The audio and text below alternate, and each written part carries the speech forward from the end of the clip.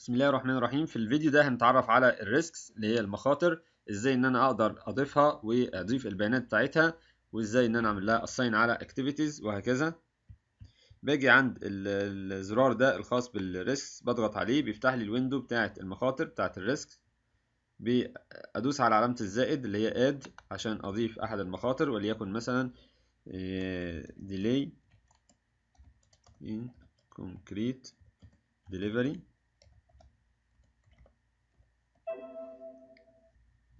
وبيديني بعض الاختيارات التانية زي ال risk category. ممكن إن أنا أختار category معينة مثلا انه متعلق بال time ال categories دي أقدر إن أنا أعدل فيها من خلال ال admin categories اللي هنتعرف عليها بعد كده في ال administration أقدر إن أنا أضيف أو إن أنا أحذف بعض ال categories أو أعدل على ال categories اللي موجودة. وبيسألني ال risk type ده threat ولا opportunity هل هو فرصة ولا تهديد؟ وبيسألني ال risk status ده proposed ولا impacted ولا managed ولا open وهكذا. ال risk owner ممكن إن أنا أختار حد معين هنا من ال resources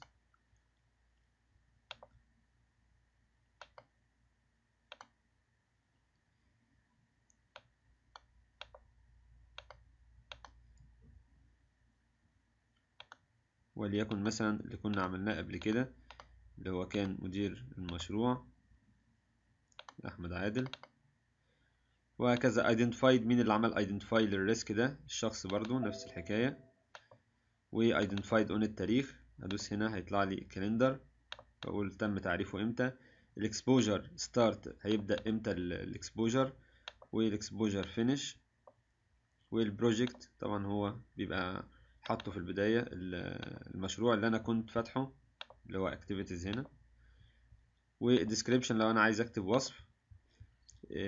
أقدر إن أنا أطلع بعض الأعمدة التانية طبعا زي بقية ال windowهات بتاعه البريمافيرا.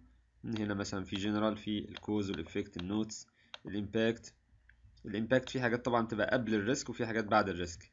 يعني هنا ال post response بعد ال response وفي هنا ال pre response قبل ما يحصل الاستجابة أو ال response وهنا response description و type أقدر إن أنا أزود أي من الأعمدة دي. في ال detail window هلاقي معظم الحاجات اللي إحنا قلناها من شوية ال risk ID لو أنا عايز أكتب ID لل risk risk 1 مثلا أو أكود بطريقة معينة ال name ال category ال threat ولا opportunity ال owner ال status بتاعته وهكذا بقى إيه معظم الحاجات اللي قلناها من شوية. ال pre response exposure cost التكلفة اللي هي هتبقى قبل قبل ال response أو ال exposure اللي هيحصل. وهنا ال post response يعني بعد ما حصل الاستجابة. identified on قلناها identified by.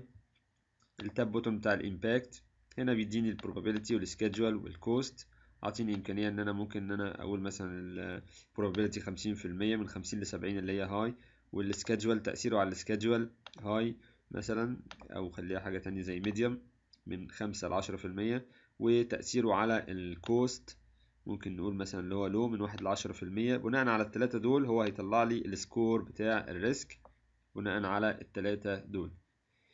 طيب هنا ال response type وفي أربع أنواع من ال response accept avoid reduce transfer. طبعا لو كان ال risk ده مختارينه إن هو مش threat كنا مختارين إن هو opportunity كان هيبقى ساعتها في أربع أنواع تانية أو strategies تانية خاصة بال response enhance exploit facilitate reject. Reject اللي هي ال PMI بيعرفها إن هي accept برضو في ال opportunity. طيب لو أنا اخترت مثلا إيه؟ enhance. دي كده ال pre response قبل ما أعمل response. هنا بعد ما عملت response ممكن أكتب وصف ال response هنا. بيفتح لي ساعتها بقى ال post response. ممكن أحط مثلا إيه؟ بعد ما عملت ال response متوقع. إن ال ال probability بتاعته مثلا تبقى قليلة قوي بسبب إن أنا عملت response وتأثيره على ال schedule ممكن مازال هو هو وعلى ال cost مازال هو هو فيطلع لي إن ال score بتاعه قل نتيجة إن أنا عملت response معين. ال activities لو أنا عايز assign بقى activities معينة من المشروع بتاعي ممكن assign ال activities الخاصة بال concrete وهنا من activities ممكن إن أنا assign بعض الأنشطة الخاص بيها ال risk ده. ممكن مثلا أجي أقول إيه الأنشطة بتاعه ال concrete لأن ال risk خاص بال concrete daily delivery RC foundation plain concrete slab on grade وهكذا. ممكن أدوس هنا أعمل لهم assign مباشرة كلهم على بعض وأعطيني بقى البيانات عنهم. ال start وال finish وال ID وكده. description ممكن أكتب وصف للريسك الكوز الافكت النوتس وهكذا. طبعا أنا لو رحت عند ال activities بقى دلوقتي عند مثلا أي من ال activities اللي فيها خرسانات اللي إحنا عملنا assign عليها زي مثلا ال column دوت وهروح عند risks هلاقي بقى إن ال risk ده موجود. فعملية ال assign ممكن تبقى من هنا أو من هنا هي هي. وبكده يبقى اتعرفنا على موضوع ال risks